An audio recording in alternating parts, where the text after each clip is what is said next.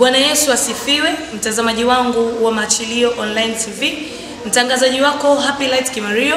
Tunamshukuru Mungu kwa kupata kibali kwa kuweza kuwa na kipindi cha ushuhuda, na siku ya leo tumepata kibali cha kukutana na watumishi wa Mungu ambao watakwenda kusema matendo makuu ambayo Mungu ametendea kupitia madhabahu ya kutafuta na kuokoa kilichopotea ulimwenguni kote chini ya mtumishi wa Mungu mpakwa mafuta wa Bwana Nabii Uswege Megaga. Na wakati huu ningependa kuwakaribisha watumishi wa Mungu waje wakaseme yale ambayo Mungu amewatendea.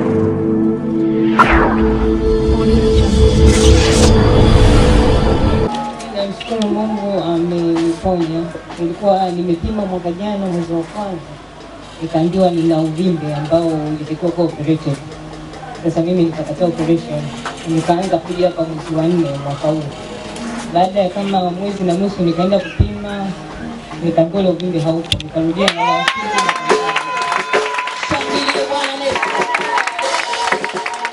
Mungu sio mchezo. Wewe leo, tarajia muujiza wako mkubwa, Amina. kwa sababu Mungu wetu hana ugeni mbele zake. Amina. Ukimkubali tu na kumtii, yeye anaenda kukushangaza. Amina. Uvimbe ulikuja mwezi wa nne, mtumishi wa Bwana, lakini ameenda kupima mara moja mara mbili, amekuta ule uvimbe hakuna. Mungu wetu ni daktari wa madaktari, mshangilie Bwana. Yeye anafanya operesheni zamani, anatuma na kufanyia operesheni. Haleluya! Amina.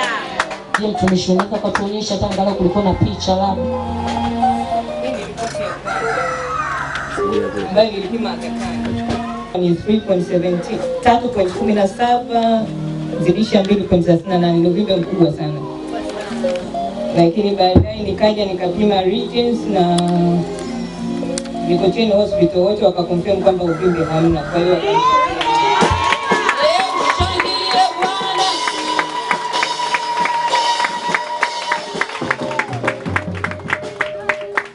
Mwambie jirani yako hakuna jambo gumu mbele ya Mungu wetu. Amemtendea dada na kesho atamtendea. Shangilie Bwana Yesu. Kwa hiyo dada, saizi wewe ni mzima. kabisa, sina uvimbe. Unasema nini kwa habari ya Mungu aliye mahali hapa? Kuna jambo la pili pia nataka nishuhudie. Siku ya kwanza nilipokuja nikamwona baba, nilikuja kwa ajili ya mambo ya mahusiano, lakini yeye akawa amenieleza mambo ambayo mimi sikutaka kuongea kwake. Akanieleza, aliniambia hiyo mambo ya kizazi pia, eh, ingawa mimi nilimficha. Akaniambia pia ishu kwenye koo kwamba kuna kitu kimewekwa, mimi sikumweleza, lakini nilikuwa nasumbuliwa na koo karibu miaka. Na wakawa wamenipima vipimo vya kansa kama mara mbili, wanajaribu kucheki kweli na shida gani, kwa sababu nilikuwa ni kitu kimekamata, sielewi nini kinauma. Kila wakipima kitu hawaoni tatizo. Nilivyofika sikumweleza baba, nilimficha, lakini akaniambia kuna kitu kimewekwa kwenye koo. Kwa hiyo nao, akasema amini ameisha pokea lime kwamba ameisha. Mapindi ya last week nimeamka asubuhi nikatapika vitu sielewi ni kitu gani, na koo kuuma. Shangilie Bwana Yesu.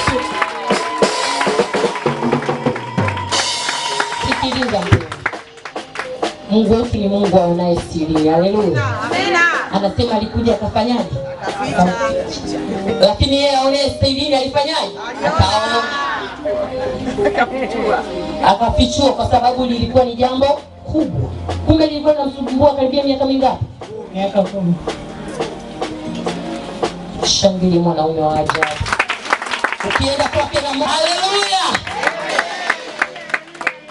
Nini kwa habari ya Mungu wa mahali hapa?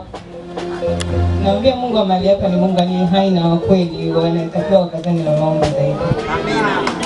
Shangilie Bwana.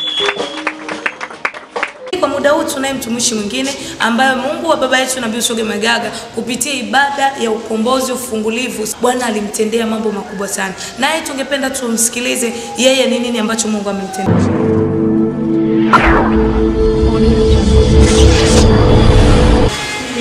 Nilikuwa na kichomi kikali hapa kifuani kinachoma mpaka nyuma ya mgongo. kulikuwa na kitu kama kikali kwenye kifua, Eh, kichomi kikali sana. kichomi. Mpaka ilikuwa nikikohoa nasikia maumivu au nashindwa kupumua vizuri.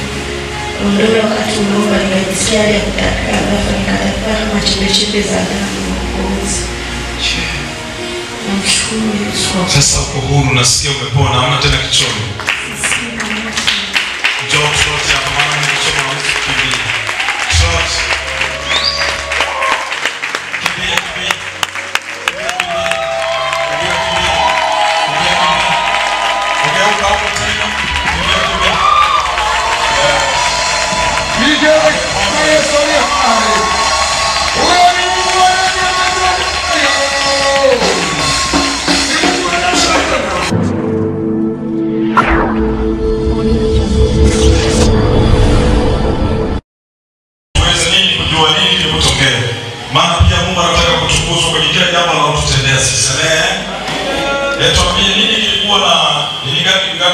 Gani Ni kweli, yani siku ya leo kuna baadhi hata watumishi wa simu kwamba siwezi kufika kanisani.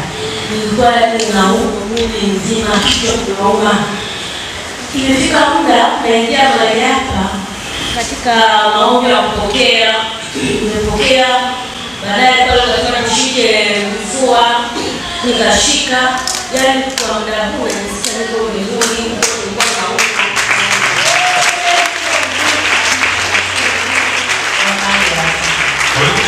walikuja kabisa. Na mwili wako wote ulikuwa yani hauna- au- sawa. Hauko sawa. Kuna baadhi ya watumishi mnaongea leo siji, maana nilikuwa nauma mbaya mno. ulimwambia mtumishi gani ambaye usema Nilimwambia mtumishi Pita, mtumishi yule pale, tunapiga na huyo nani yako na kumletea hapa? Basi maana yeye alikusikiliza maoni. Kwa sababu ya hali ambayo ilikuwa inakusumbua ndio nimechoka kuingia hapa, wengi wameniona nikiapa. eti nitakwambia nini ndio Debora eh? Aliniambia anaumwa sana. alikuwa anaumwa sana. Eh, kwa hiyo akakwambia kabisa sitaweza kuja. Akaniambia sitakuja, lakini kamwambia Mungu akutie nguvu. kampa neno la imani baba aweze kusogea madhabahu mungu akubariki sana kwa kumpa moyo. Maana wewe ndiwe jiwe huwezi ukaacha mambo ya Mungu. Ehe, sasa unasikiaje sasa hivi? Uko huru kabisa unaweza ukakimbia kidogo kama makukimbio ya mtu aliyepona oyo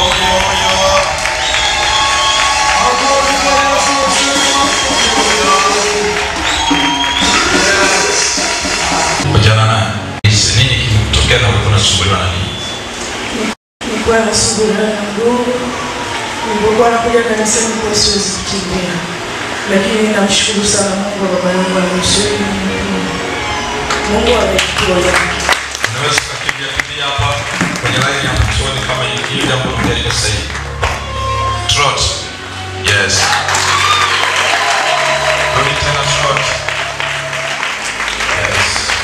Sasa mponya mtukuzeni Bwana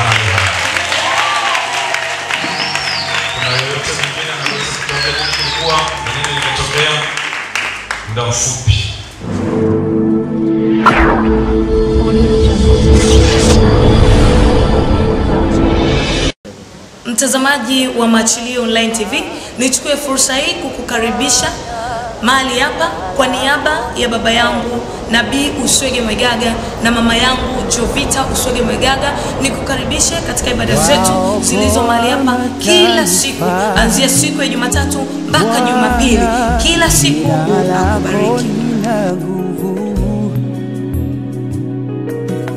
Kila goti litapigwa, kila ulimi utakiriwe ni Bwana.